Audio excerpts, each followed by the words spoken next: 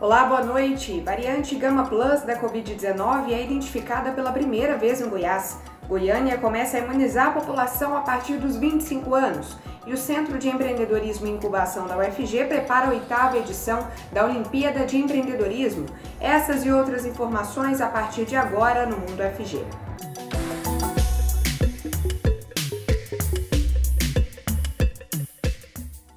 A variante Gama Plus foi identificada pela primeira vez em Goiás por meio do projeto da UFG em parceria com o governo do estado, que faz mapeamento genético do coronavírus. A Gama Plus ainda é a variante Gama registrada primeiro em Manaus, mas com uma nova mutação, que, ao que tudo indica, deixa ela mais transmissível. A gente identificou uma predominância muito grande da variante Gama, mas com um aspecto é, de novidade aí, de uma mutação que começou a ser verificada nessa semana na variante gama, que o pessoal está chamando de variante gama plus, que existe então uma regiãozinha do genoma que tem uma mutação e coincidentemente é, ou não é uma variante, é, é uma mutação, desculpa, que tem relação é, ela, na verdade, ela está presente também na variante Delta. A, a mutação facilita a entrada do vírus na célula, aumentando a velocidade da transmissão. Então, a gente precisa ficar alerta, porque assim como a variante Delta, essa variante Gama Plus, ela está, então, é, eles estão suspeitando, né, de uma relação com aumento da transmissibilidade e, consequentemente, a gente pode ter, então, uma piora é, no número de casos, principalmente porque também existe é, menos sintomas, então, mais pessoas assintomáticas acabam que a disseminação do vírus ela vai mais rápida. Nessa última rodada de análise feita pelos pesquisadores da UFG, foram estudadas 62 amostras de abril e maio e em sete delas foi encontrada a Gama Plus. Depois, analisadas 61 amostras dos meses de junho e julho, em que encontraram 20 casos de Gama Plus. Já a variante Delta, que tinha sido identificada, não foi encontrada nessas últimas duas análises. Segundo a professora da UFG, é possível levantar algumas hipóteses para explicar a ausência da variante Delta. Primeiramente, é, eu acho que dá para a gente suspeitar de que ela ainda não chegou, ou seja, a gente não começou a detectar um aumento grande ainda, porque ela está é, perdendo a competição, entre aspas, com a variante gama, que está muito frequente aqui. É, essa é uma hipótese.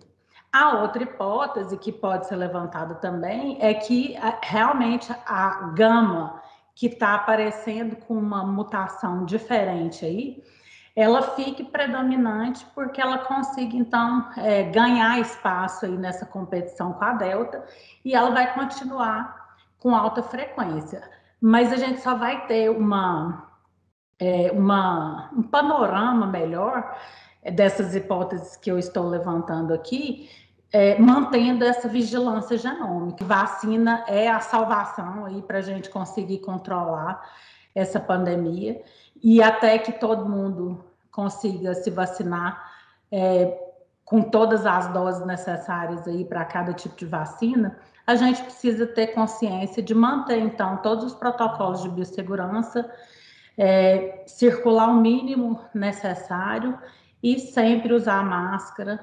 Além de Goiás, a variante Gama Plus foi identificada também no Mato Grosso, Ceará, Santa Catarina, Paraná e no Rio de Janeiro. Pessoas de 25 anos já podem se vacinar contra a Covid-19 em Goiânia. O agendamento da imunização em um dos pontos fixos da capital deve ser realizado pelo site ou aplicativo da Prefeitura. A população também tem acesso à vacina no drive-thru do Shopping Passeio das Águas. Confira todos os locais de imunização no site goiania.go.gov.br barra imunizagim. A Covid-19 em crianças geralmente provoca sintomas leves que até se confundem com resfriado ou alergia. Casos graves nessa faixa etária são raros, mas existe uma situação preocupante observada lá na Europa. Então, a doença COVID-19, a infecção pelo SARS-CoV-2, ela é, tem uma fase que a gente chama de fase aguda, que dá aqueles sintomas que na criança podem ser respiratórios, gastrointestinais, a presença de febre, mas a gente pode ter, depois de quatro semanas, de duas a seis semanas, na verdade, da infecção com vírus, uma síndrome inflamatória multissistêmica, que isso é como se fosse uma que a gente chamava anteriormente, é, que a gente comparava né, com a síndrome de Kawasaki. Melissa Avelino é pesquisadora e professora na Faculdade de Medicina da UFG. Desde o ano passado, ela coordena uma pesquisa sobre a evolução da clínica pediátrica da Covid-19. O estudo tem acompanhado pacientes em UTIs de cinco hospitais de Goiânia. A UTI, que é referência, que recebeu o maior número de casos é, complicados de criança, é a UTI do UGOL, né, por ter sido um local de referência para essas crianças. E lá nós tivemos quadros graves em crianças com comorbidades, né, neuropatas, e tivemos quadros de SIMP em crianças ígidas, né, em crianças normais também. A pesquisadora reforça que os cuidados, higiene, distanciamento, uso de máscaras devem ser os mesmos, independentemente da idade. Países que suspenderam precocemente essas medidas agora percebem a importância dos protocolos. Estados Unidos, por exemplo, onde grande parcela da população acima de 12 anos, praticamente mais de 70% em alguns locais estão vacinadas, eles estão vendo um número maior de casos em crianças. Isso é óbvio. E esses adultos começaram a flexibilizar um pouco mais, eles começaram a ter mais contatos. Então, não só né, o SARS-CoV começou a circular, como os outros vírus também vão circular. Então, na verdade, é muito importante a gente, mesmo os adultos estando vacinados, a gente ter o cuidado né, de evitar né, é, contatos, aglomerações e manter todos os cuidados. Sobre o retorno às aulas presenciais nas escolas públicas, Melissa lembra que as instituições tiveram mais de um ano para se preparar e conhecem os protocolos que precisam ser seguidos. Ela destaca que é preciso analisar diversos aspectos quando se trata da saúde da criança. Mas eu considero que para as crianças o efeito da pandemia, o isolamento social, tem trazido várias outras doenças para essas crianças. A gente tem tido aumento no índice de crianças com distúrbios de ansiedade, com problemas emocionais graves, crianças com atrasos de fala, com atrasos de linguagem, que são consequências da pandemia. A pesquisa ainda está em andamento, acompanhando as crianças internadas nas UTIs. Além de avaliar a presença do SARS-CoV-2, o estudo também analisa um painel viral de todas que foram diagnosticadas com síndrome respiratória aguda. A Escola de Veterinária e Isotecnia da UFG participa da campanha de vacinação antirrábica da Prefeitura de Goiânia. A imunização gratuita de cães e gatos está dividida por distritos e acontece durante os meses de agosto e setembro. A EVZ da UFG é o posto de vacinação da região norte e vai aplicar a vacina no dia 4 de setembro, das 8 da manhã às 5 da tarde. A Escola de Veterinária Isotecnia fica no campus Samambaia, setor Itatiaia. Para mais informações, acesse evz.fg.br. Intervalo rapidinho, mas a gente já volta.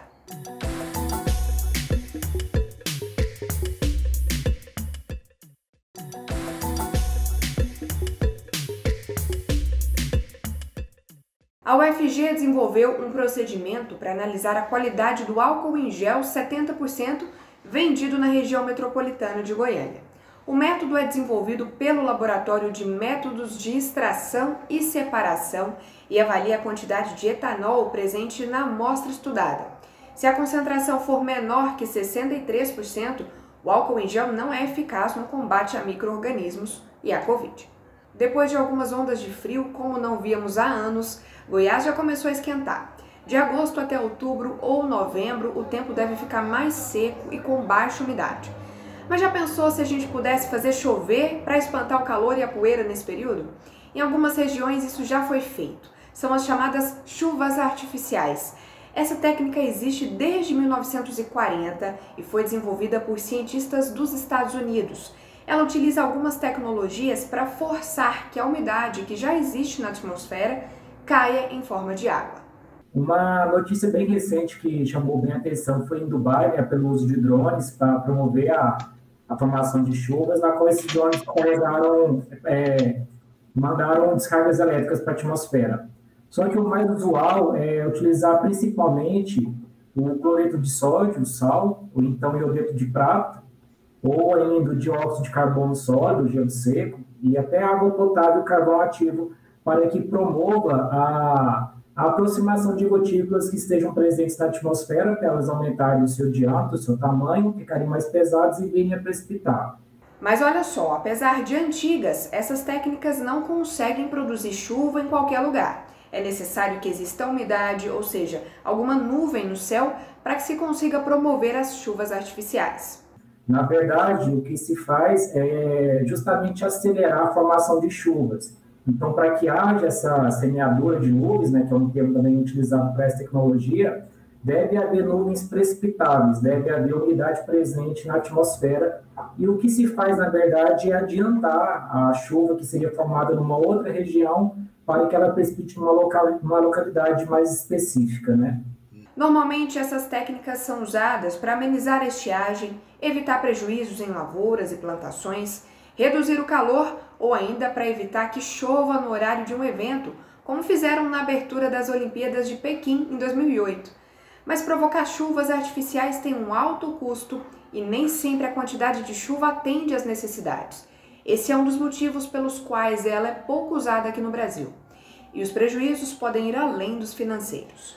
Tem cientistas que chamam esse, essa tecnologia de sequestro de chuvas, porque nós temos uma, uma nuvem né, carregada de umidade que deveria precipitar em alguma localidade, e quando nós fazemos esse bombardeamento de nuvens né, com descargas elétricas ou produtos químicos, a gente acaba adiantando essa chuva para uma outra localidade. Então, essa outra área que vai ficar sem a, o evento de precipitação pode também trazer algum prejuízo. Inclusive, lá na China, em alguns é, eventos, alguns experimentos, tem se produzido muito, muita chuva e aí tem é, causado alguns transtornos como inundações e alagamentos. Além disso, a gente tem que considerar que é colocado uma química, né, um produtos químicos na atmosfera e isso pode gerar tanto chuvas ácidas como também ser incorporado nos corpos hídricos no solo e aí trazer prejuízos para a biota.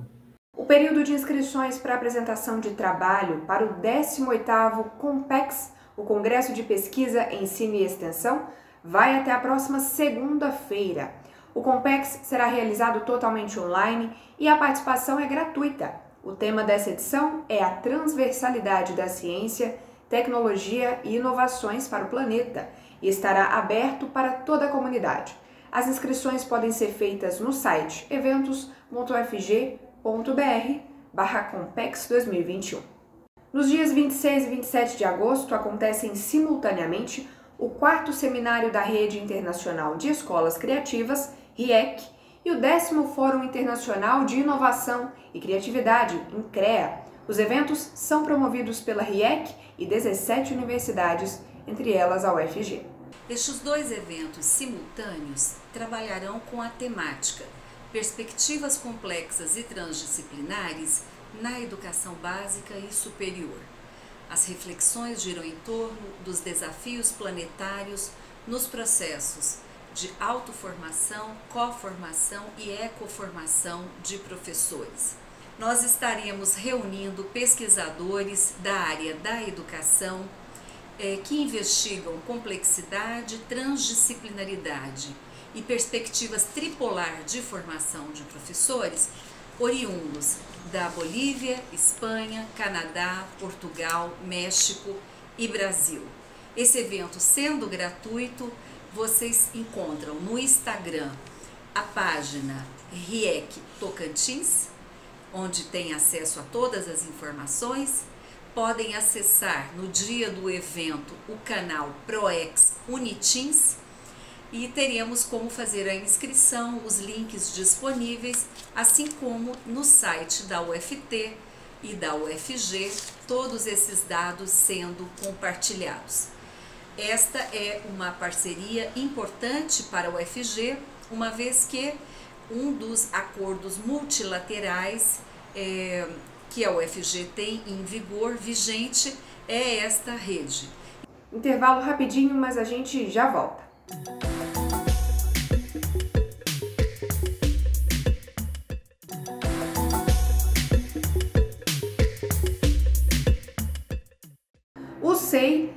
De Empreendedorismo e Incubação da UFG, está com inscrições abertas para a oitava edição das Olimpíadas de Empreendedorismo Universitário da UFG. Ela é uma Olimpíada é, que tem o foco nos estudantes né, de graduação e de pós-graduação. A ideia é a gente disseminar essa cultura de empreendedorismo entre esses meninos. Basicamente, é, existe uma etapa de inscrição da, da, das equipes, depois da seleção dessas equipes, uma etapa de um bootcamp, onde os meninos recebem é, as instruções, recebem toda uma mentoria, e, e, a partir daí eles desenvolvem essas ideias, recebem outras, outras mentorias, chegando no final, é, onde eles passam por duas bancas e onde a gente seleciona, então, as equipes, as, os melhores propostas, então, são premiadas.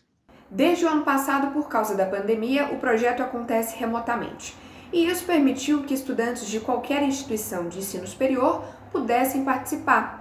Foi o caso da Maíra Ribeiro, que cursava Direito na ESUP, ficou sabendo das Olimpíadas e desenvolveu o projeto junto com a irmã dela. Foi corrido por conta do, do, das minhas outras obrigações mas eu e a minha irmã ficamos ali até altas da noite, é, gravando vídeos, assim, sorrindo também, né? Porque a gente tem que divertir. E estudando, tendo as monitorias que foram excelentes, assim, foram fundamentais também para a gente conseguir captar a ideia, conseguir focar e colocar ali tudo organizado. Em 2020, elas foram premiadas na categoria Negócio de Impacto, com o projeto Som das Cores, que aliou games e tecnologia com alfabetização de crianças. A proposta usou o método nobre de alfabetização de crianças criado pelo pai das estudantes. As duas adaptaram a ideia em uma espécie de game que usa sons e cores para que os pequenos comecem a aprender antes mesmo de conhecerem letras ou palavras escritas. Depois, no decorrer da aprendizagem da criança, eh, serão introduzidas as palavras, serão introduzidas as letras, mas primeiramente ela só aprende sons e cores.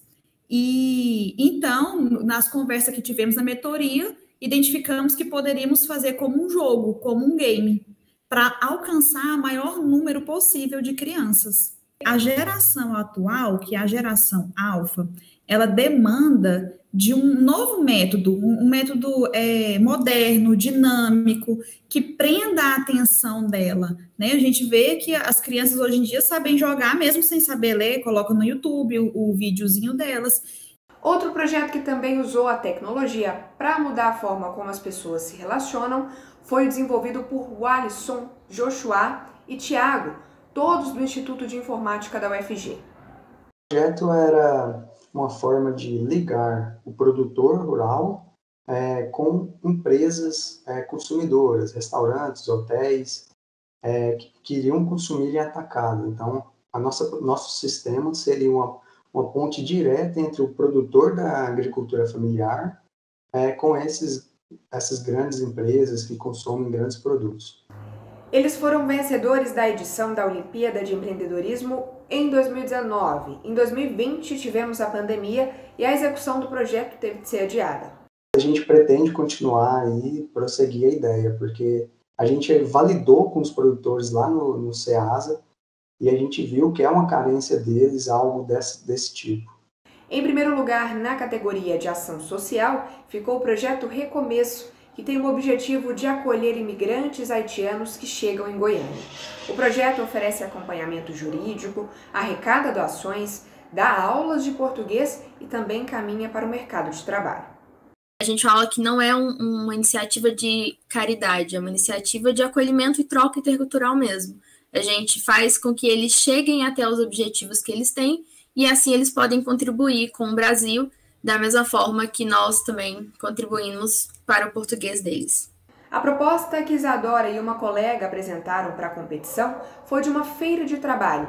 Com a pandemia, o evento ainda não pôde ser realizado, mas a iniciativa do projeto Recomeço continua de maneira remota com aulas de português. No início, a gente trabalhava nesses quatro eixos, que era de noções de cidadania, trazendo direitos e deveres que tem no Brasil, é, o mercado de trabalho, então a gente ajuda eles a fazerem um currículo, é, a gente faz simulações de entrevistas de emprego, tem as aulas de português, que a gente faz simulações, por exemplo, de uma consulta no SUS, como fazer a documentação, e tem o eixo de campanhas, que a gente ajuda eles no que eles precisam. Então, sempre tem uma arrecadação de roupas, de móveis. A edição desse ano terá duas categorias: negócio de impacto socioambiental e negócio inovador. Essa de impacto socioambiental, ela tem, ela tem um foco em, em, em realmente atender que, que o negócio ele pode e deve gerar lucro, mas ele deve ter um propósito realmente de um impacto importante é, social e um impacto ambiental. Então, nessa categoria, a gente é, é, é exige que, que, que, a proposta apresentada atenda pelo menos uma das, das ODS, né, da, da, dos Objetivos de Desenvolvimento Sustentáveis da, da Agenda 2030 da ONU. Independentemente do ano, da categoria ou da colocação, todos eles reconhecem que as Olimpíadas de Empreendedorismo são uma experiência que amplia os conhecimentos e a visão empreendedora de quem participa. Essa iniciativa da UFG vai te ajudar. Se não for para você necessariamente vencer, mas vai te trazer muitas ideias, vai abrir sua mente, vai assim abrir seus horizontes para outras coisas, porque a gente aprende não só ali na sua ideia, você aprende a focar não só ali, mas vai te trazer questões de é, financeira, como organizar sua, sua questão financeira, como é, você pode captar cliente, como se portar na frente do cliente. Foi algo que mudou realmente a nossa forma de pensar, de, de, de agir nesse meio do mercado, né? Esse meio empresarial e de ideias inovadoras em um mundo cada vez é, mais inovador e, e mais necessitado de grandes ideias. Eu penso que apesar da pandemia, das nossas dificuldades, eu penso que é muita animação, é muita interação, é networking, porque é, é uma possibilidade, inclusive a ideia é que as equipes sejam multidisciplinares, podem vir estudantes de, de cursos é, diferentes, de universidades diferentes, então a equipe pode ser é, mista. E outra coisa que é legal é que a Olimpíada abre a possibilidade, os melhores projetos, eles podem ser pré-incubados é, na nossa incubadora, né, no SEI, Centro de Empreendedorismo e Incubação. Então, isso também é muito legal, porque uma, uma boa ideia pode realmente virar um negócio e, mais para frente, virar uma empresa Mundo FG fica por aqui. Muito obrigada pela sua companhia. Se cuide e até a próxima.